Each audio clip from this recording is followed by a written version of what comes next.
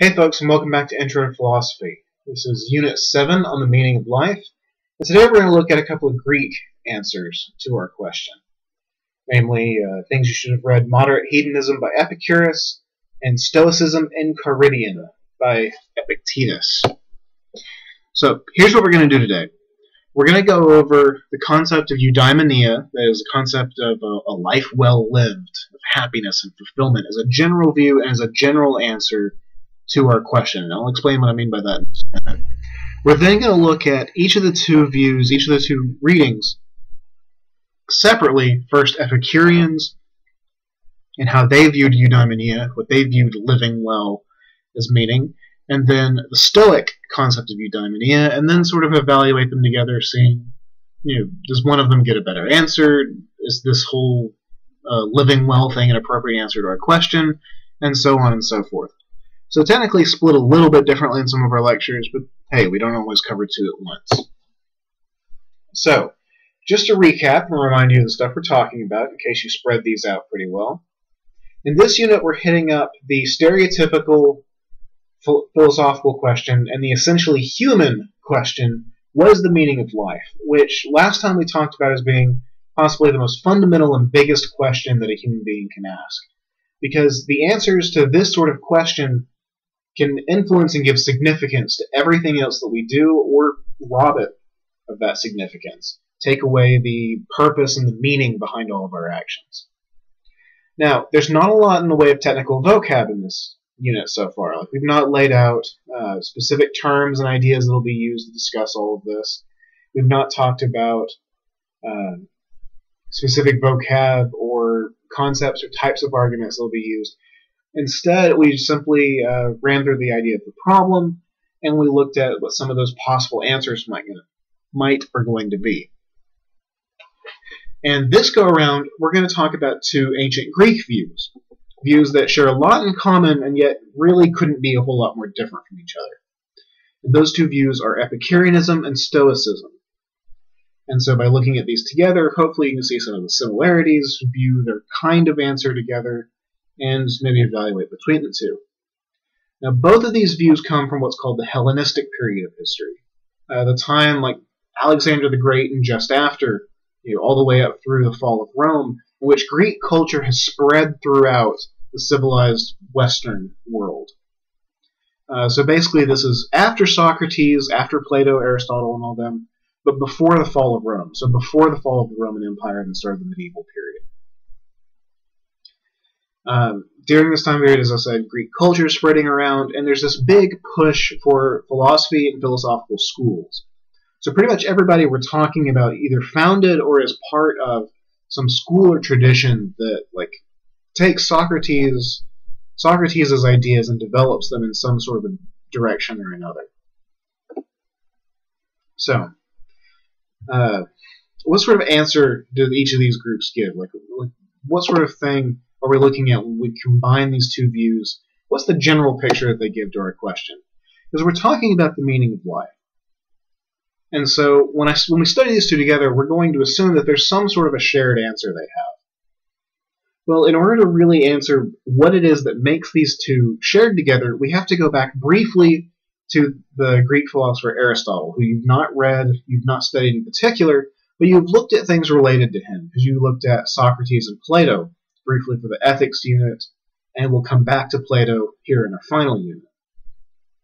Now, Aristotle was Plato's student, just like Plato was Socrates' student. And just like Plato, Aristotle founded a school of philosophy, the Lyceum, in Athens, Greece. In addition to that, he personally tutored and mentored Alexander the Great. Uh, the dude basically is responsible for more of Western culture than any single individual besides maybe Jesus of Nazareth, provided that all the historical evidence is actually correct the dude existed.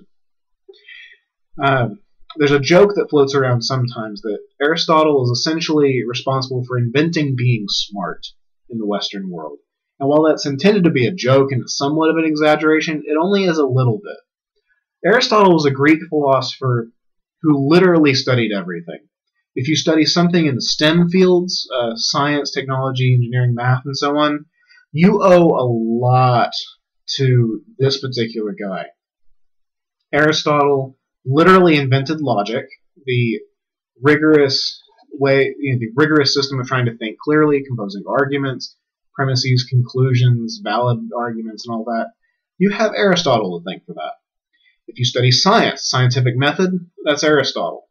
Astronomy, largely systematized by Aristotle. There were a lot of brilliant thinkers, especially in the Western world, uh, or actually, I mean to say, especially in the Eastern world, um, China, India, uh, areas of the Middle East, that did a lot of things separately from Aristotle. You know, there's astronomy and there's math and there's science, and there are lots of things going on elsewhere. But as we understand them in today's culture, in our society today, the general forms that these things took, Aristotle really kicked this stuff off. He invented rhetoric, he invented logic, uh, he considered himself primarily a biologist. He's the one who focused on doing experimentation and taking notes and analyzing uh, the empirical world in a systematic and rigorous fashion. So the dude literally wrote on everything from physics to ethics. Uh, he wrote a little bit on religion. And the books we have of Aristotle's are essentially his lecture notes that define and characterize most of the major fields of the university for at least like the last 2,000 years.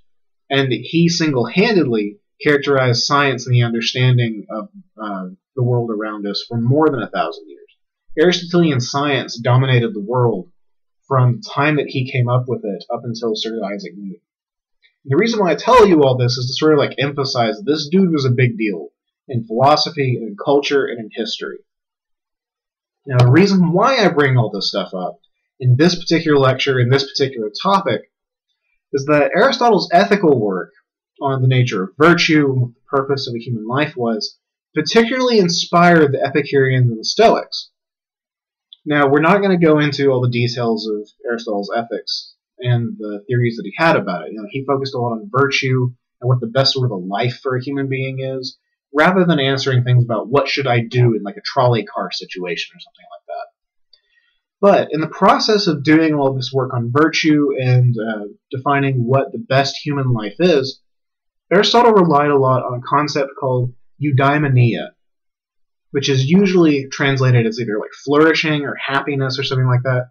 The translations don't really work very well in English. We just don't have words to sum up in one idea what's usually referred to by eudaimonia. So throughout the lecture and throughout the rest of the unit, I'm going to refer to it in the Greek. Uh, so eudaimonia is this Greek, ancient Greek concept of flourishing or happiness, sort of like in the sense of like an objective, object from an objective perspective, you know, like a God's eye perspective of a life that is well lived. Uh, so it's not just like you don't have a eudaimon life. If at some point you you know just sit back and go, yeah, my life's going pretty good. You know, like I've got a comfortable job, I've done all this sort of you know decent stuff, people love me. That's not the idea of happiness that we're going with here. Flourishing is honestly probably the better definition here besides happiness, even though happiness is a little more traditional. Instead, eudaimonia is supposed to cover a concept of a life that's like lived to fruition, like to ripeness. You know, like a grape can be objectively considered to be ripe or not. A human life can be considered objectively to be either eudaimon or not.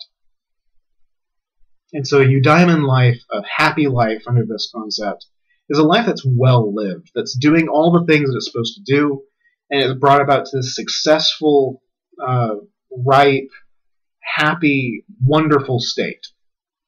And uh, Aristotle talks about it in terms of purposes. You know, just like uh, a good hammer is a hammer that you know, hammers things very well. A good car is something that does its task very well. You know, like it drives you from place to place very well. A good human being is one that lives well. And so a good human being, a eudaimon human being, is one that has lived well and done all the unique things that a human being is supposed to do very well. It performs its natural function and lives up to its nature in a good and objective way. And again, we're not talking about Aristotle specifically for this lecture, so I'm going to leave off some of the things here. There's a lot more to be said about this guy. You can be an Aristotle specialist if you ever go into like professional philosophy. So all of that stuff would be a whole other lecture's worth at least. if not a career's worth of understanding all this and like going into all the details. But the reason why we bring it up is that each of the two folks that we're talking about in the centuries after Aristotle lived and wrote, they really liked this idea and they ran with it. Uh, the Epicureans and the Stoics both saw themselves as working under the same tradition as Socrates. And you've got this nice little line of transmission from Socrates to Plato to Aristotle.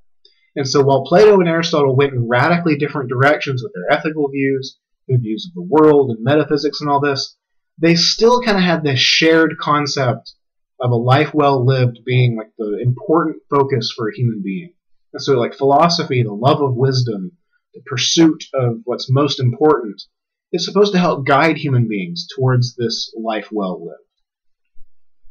And so the first of the two Greek schools we're going to talk about took this and tried to elaborate this concept in a particular way. And it's a way that should resonate with a lot of folks and how they try and approach life. And that's Epicurus. Now, Epicurus is a Greek philosopher coming just a little bit after Aristotle. Um, it's not very long after. I can't remember the dates. So yeah, Aristotle died in 322. Epicurus was born a little bit before the guy died, 20 years before he died. So it's actually conceivable the two could have met uh, had they ever been in the same place at the same time. So not long after the time period, I guess is what I'm stressing. Epicurus took this sort of uh, concept of eudaimonia and developed it in a certain direction. We don't have a lot of Epicurus's work, so we don't have everything that the guy thought or discussed with all this sort of stuff. We do have some serious fragments of his uh, philosophical work. We have work done by his students, by other people that influenced him, influenced by him, and the people who influenced him himself. So even though we don't have a lot directly from Epicurus, we do know a lot about the guy and a lot about the positions that he held. And generally, we know that Epicurus started his own school and uh, came up with a position and a general theory of life and of a life well lived that can be referred to as Epicureanism. Um, and I should clarify that when we talk about Epicureanism, we're talking about it like in this historical context.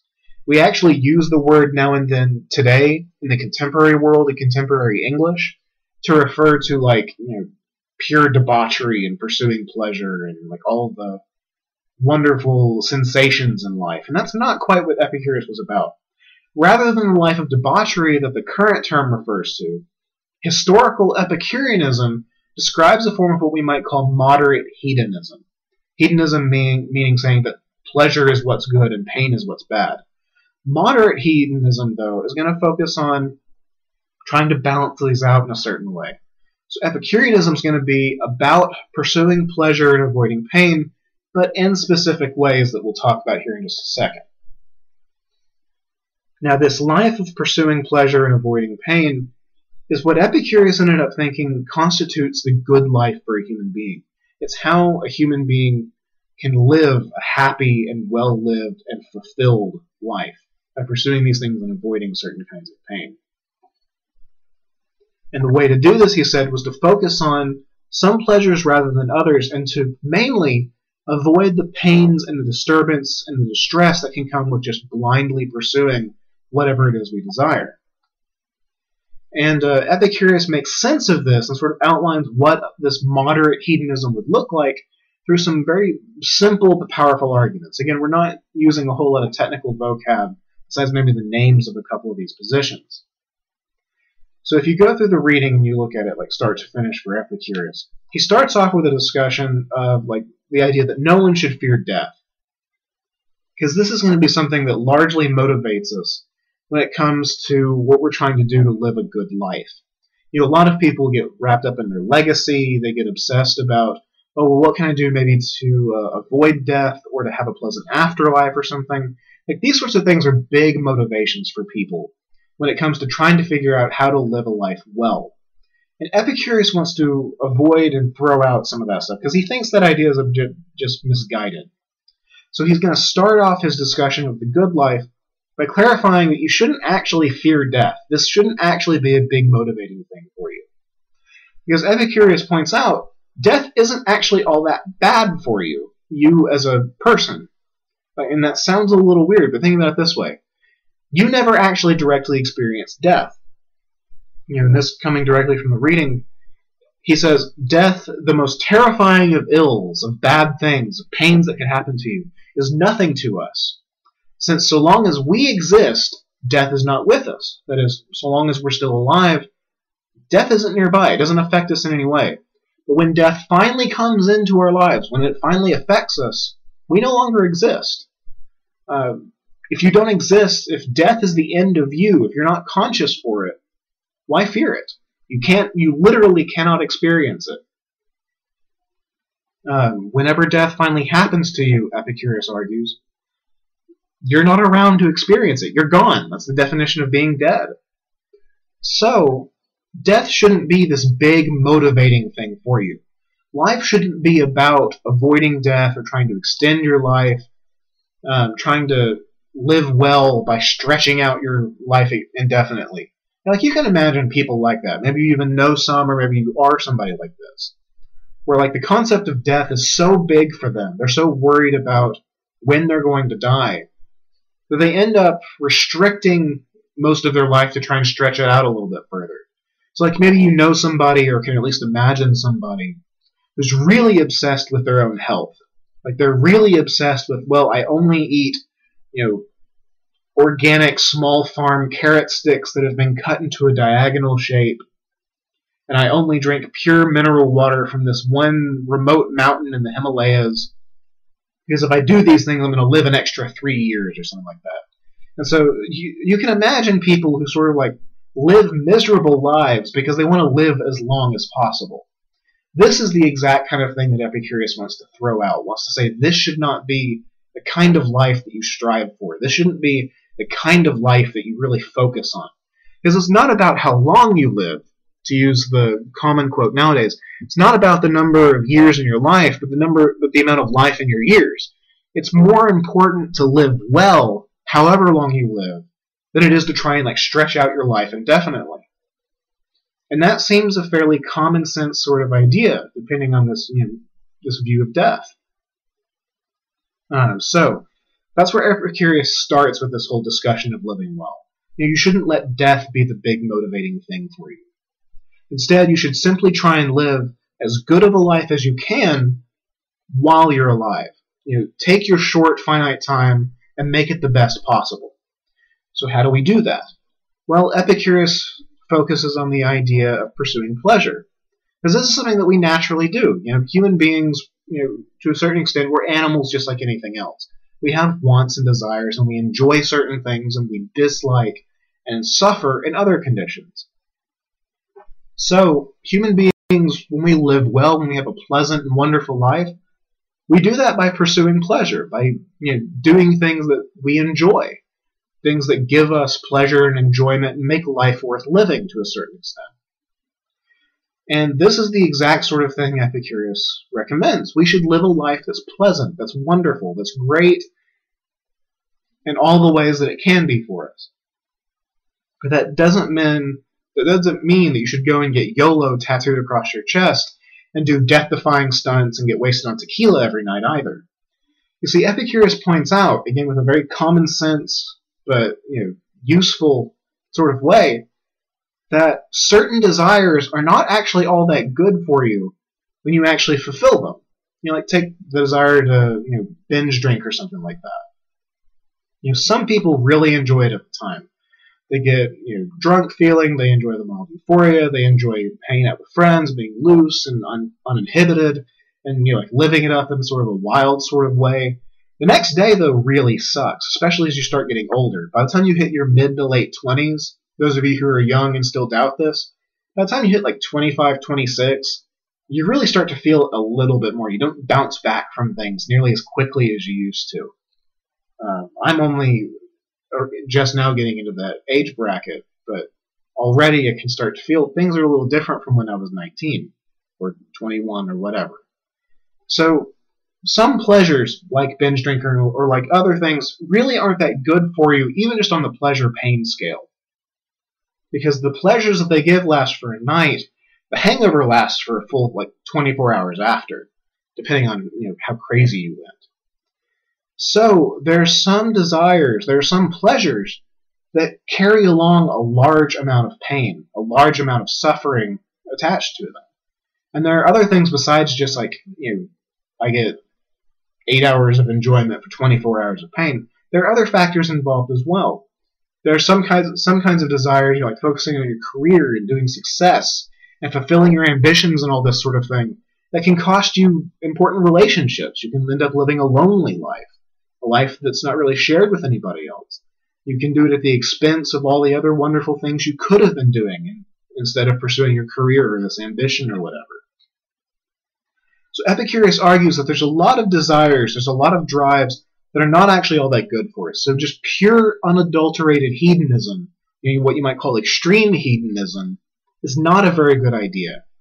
Instead, it's far better, Epicurus says, to pursue certain pleasures in moderation. It's more important to avoid pain than it is to pursue pleasure.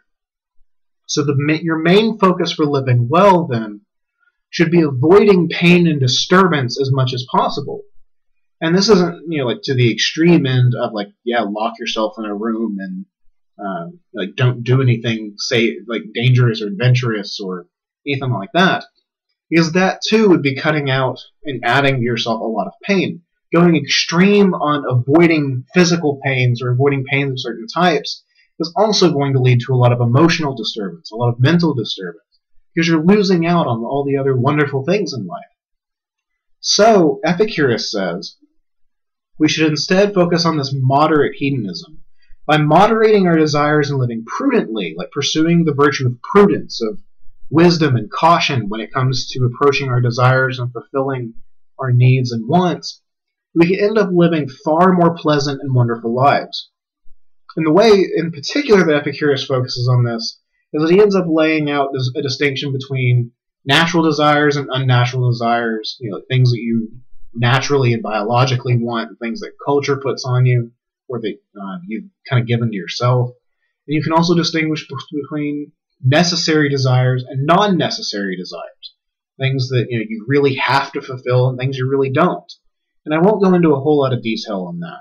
Uh, that's a little less relevant for understanding the idea of how to live well. Besides, this is an intro level class, and getting into all of the nitty gritty mechanics of a view is a little bit beyond us.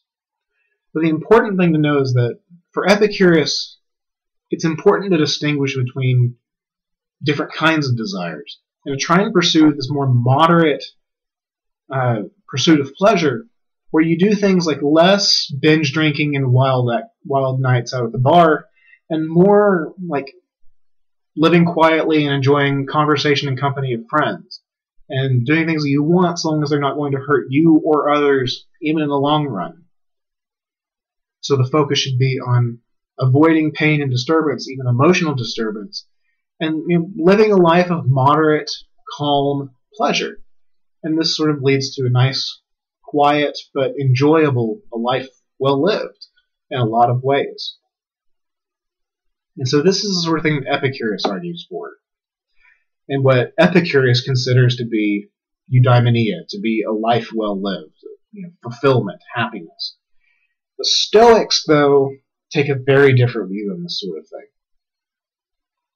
uh, Stoicism is another Greek school that comes up.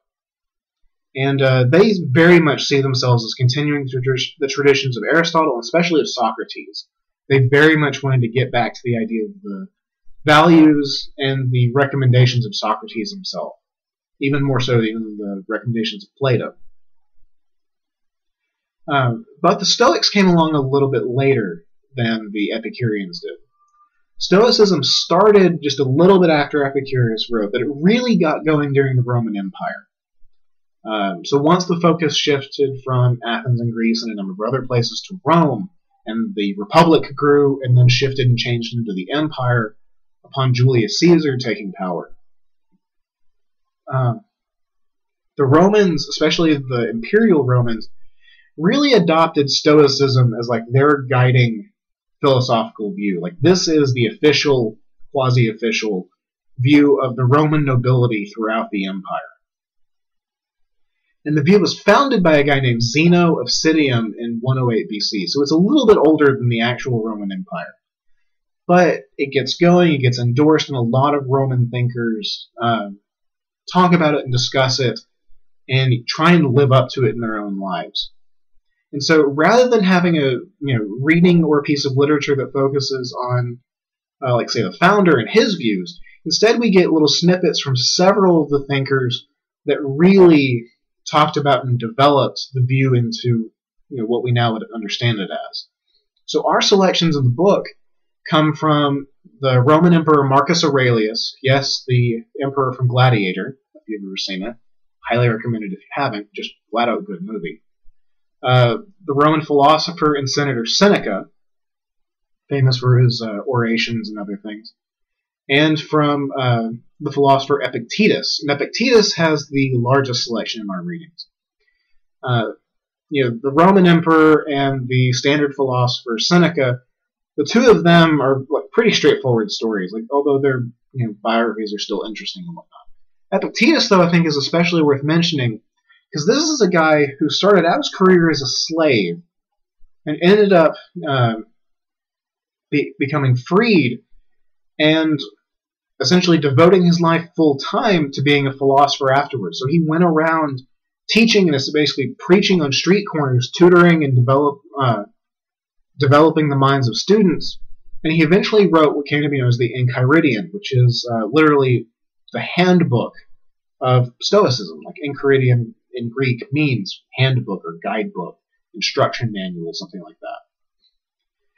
And so Epictetus's work, along with uh, Marcus Aurelius's and Seneca's, really reads like a collection of advice and instructions for living well.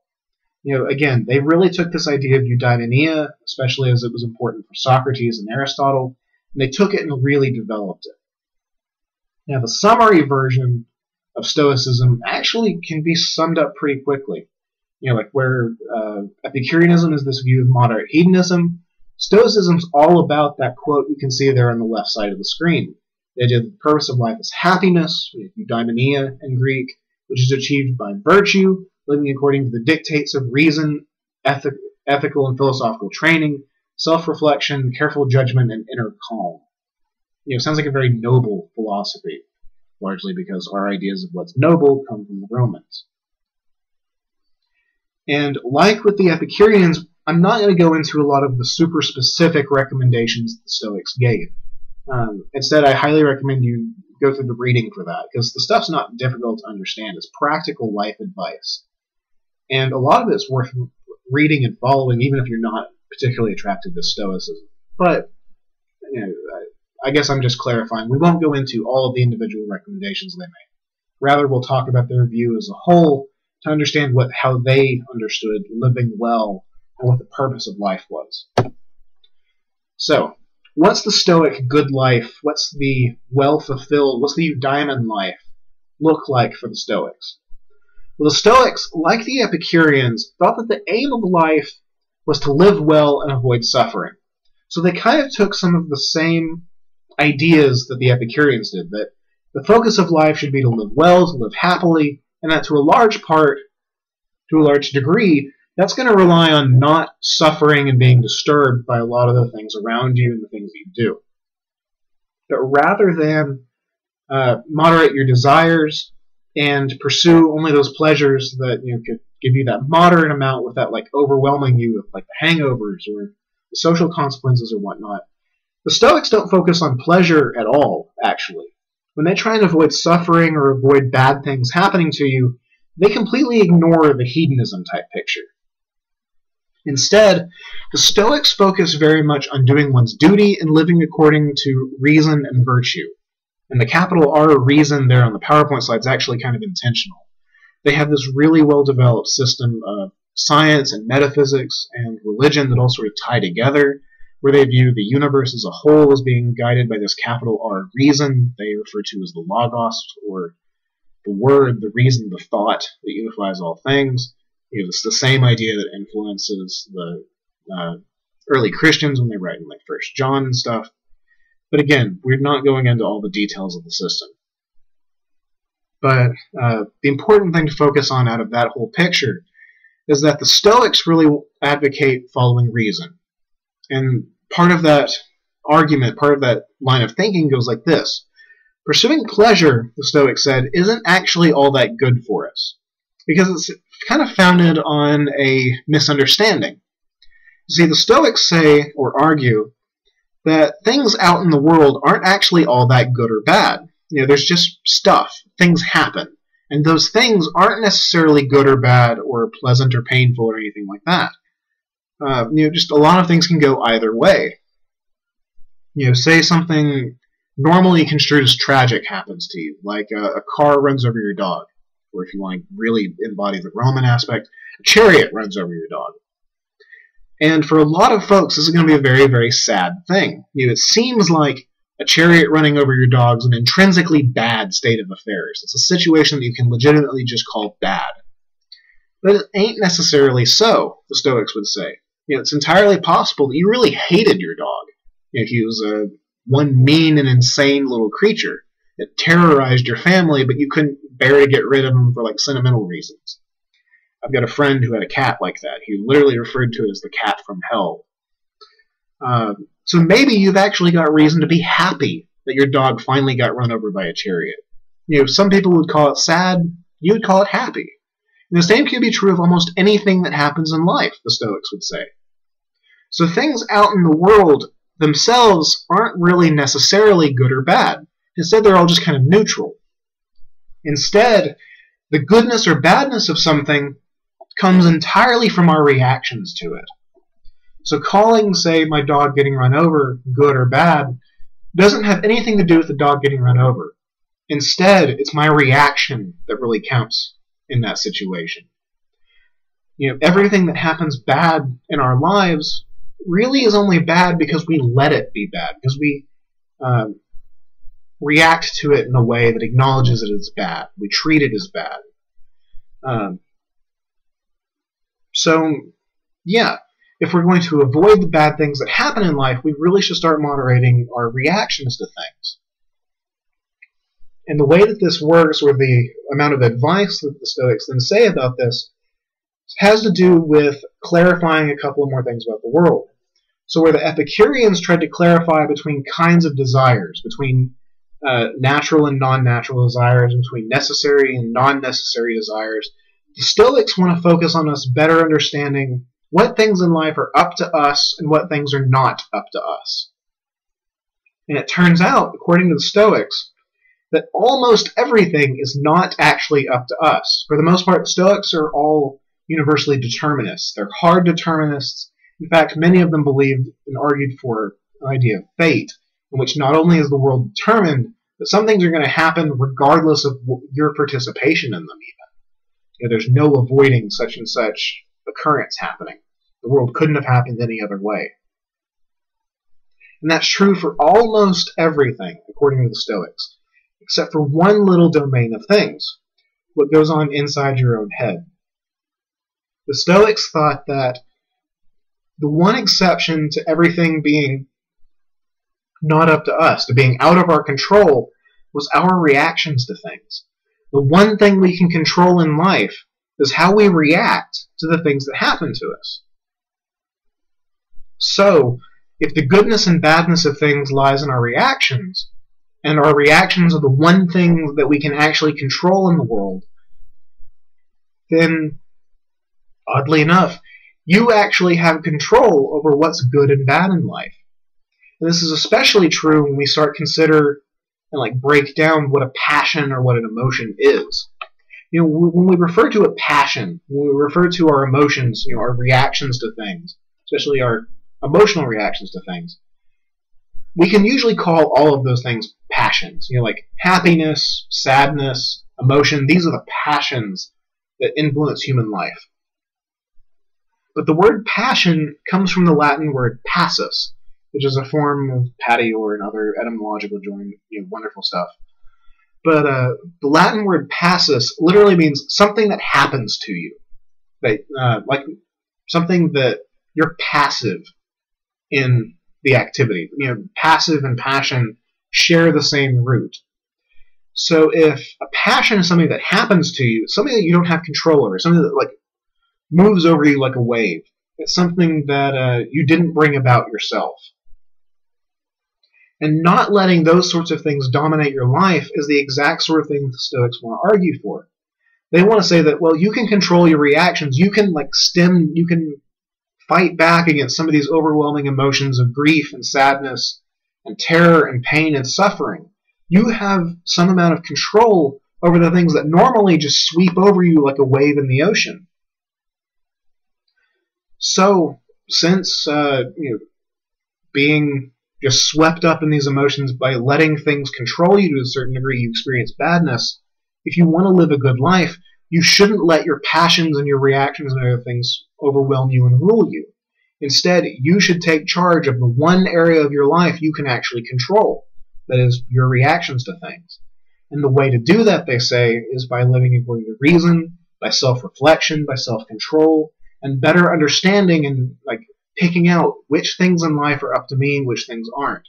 So a lot of the practical advice in Marcus Aurelius' Meditations or in Epictetus's Enchiridion, the handbook, is all about reminding yourself and focusing on, yeah, this sort of thing is outside my control. Instead, I should simply focus on being as good of a person as I can. I should focus on the things that make me happy in life. Because in addition to being able to control our reactions and our, uh, to a certain degree, our emotions and the things that, uh, how we how we react to things, we also have a lot of say over our own character. Uh, because if everything else in the world happens like tragically bad to you, you know, you lose your job, you lose your family, you know, you get kicked out on the street, you're in exile from society. The one thing that nobody else can take from you is your character. You know, this is the one thing that the most destitute of men, the Stoics might say, can take refuge in. You can still gain some amount of pleasure and satisfaction from the idea that I am a good person. You know, I can think well of myself if I live virtuously and that sort of thing. In addition, you ought to live virtuously, according to the Stoics, because it's reason that tells us what duty is. You know, we figure out ethics and what we ought to do through reason and philosophical reflection. And since that same reason uh, governs the universe and is the way that we discover our duty, living according to reason is the way to live virtuously. And again, there's a whole big system to it that, if you're interested in it, I highly recommend checking out some of their pragmatic, down to earth advice that comes out of it. But the short version of the story is the Stoics recommend uh, living according to reason, living according to virtue, and keeping control over the one thing in life you actually can control, namely yourself, your reactions, your your own mind and inner life. And if you can do those things, if you can live according to reason and focus only on those things you can actually control, then you can, in the end, live a life without suffering. If you cannot let certain things in the world overwhelm you, you can control whether or not you live a good or bad life. Thus, in order to live well, you live according to their advice and you be a Stoic. So, that's what the Stoic good life is. And we've already talked about what the Epicurean good life is. so, this is the point in the lecture where we usually start asking our evaluation questions. We've got a general idea of what it means to live well for each of these philosophical schools, for each of these uh, like schools of thought, these systems of thought. The Epicureans say that to live well is to live a life of moderate pleasure. The Stoics say is to live a life of reason and virtue. We have to start asking ourselves, are these actual plausible accounts of a life well lived? Are there more things to a good and wonderful life than pursuing moderate pleasure? Or is there more to it than simply controlling our reactions to things and living a life of self reflection and virtue? Do they leave important things out? Do they miss important aspects of a good life? If you go into the specific advice that both the Epicureans and the Stoics give, you can start to see what sort of things they focus on and what sort of things they don't. Uh, like, for example, the Epicureans say a great deal, many things about the uh, wonderful values of friendship. They considered it considered it to be a great source of moderate pleasure that often has virtually no downsides to it. Uh, you, you and somebody else both can enjoy each other's company, and there's no hangover. There's no degradation of your own self in the process of being a good friend to somebody. The Stoics generally don't talk about it in nearly the same way when they talk about it at all. Instead, they focus much more on self training and controlling your thoughts and your reactions and uh, having rule over your passions and that sort of thing. So they very much place different emphases on things. Neither of them places a great stock in ambitions and goals and career and accomplishing great things in life. So it's worth asking do they miss important aspects of a life well lived? Do they, do they leave big areas out of what could make a life well lived and eudaimon and wonderful? We also need to ask ourselves is a life well lived even a decent candidate for you know, what life's purpose is? Because remember, our question in this unit is what is the meaning of life? What's the purpose of life? And if I say that the meaning of life is to live well, that's an extremely generic and open-ended answer. You know, it can encompass things as wildly different as the Epicureans and the Stoics, and maybe even wild hedonists and egoists and focus people that focus entirely on themselves. A life well lived can mean a large number of different things. There are also questions to consider about whether or not saying that you know the meaning of life is to live well, whether this actually can really answer a lot of questions for us. Because what about individual people? Do we all have the same purpose? Do we all share this generic purpose of simply living well? Or does each individual one of us have a separate meaning or a purpose for our lives? Was I born to do a certain thing? Am I meant to do a certain thing in life? Or am I just supposed to live well just like you know, Johnny down the street or something like that? It's also worth asking uh, whether or not this is a good answer because it doesn't address certain aspects of the question. Usually, when we talk about the meaning of life, in addition to saying like what's the purpose of life, we often want some sort of an answer to what the significance of our lives is. Why was I ever born in the first place? Like, what does my life mean? What's the significance of it? Is my life important in any way? And this sort of answer to uh, the meaning of life, you know, saying that the purpose of life is to live well, that doesn't really address the significance aspect very well. It doesn't focus on the idea that, that uh, your life's important in any way. Because unimportant people can live well just like important people can. You could still be uh, useless and contribute to nothing in the world, and in theory live well according to one of these theories. You know, the Epicureans especially. They focus on a lot of intuitive and natural things, you know, things that most of us want, but you don't exactly live an important life if you live up to the ideal of an Epicurean sage. So these are all potential issues with the view, things that are worth considering, especially if you go into the in-depth advice that each of these readings contains on how to live well. These are things I invite you to consider. So, think about it. It's good food for thought, and I'll see you next time. Happy thinking.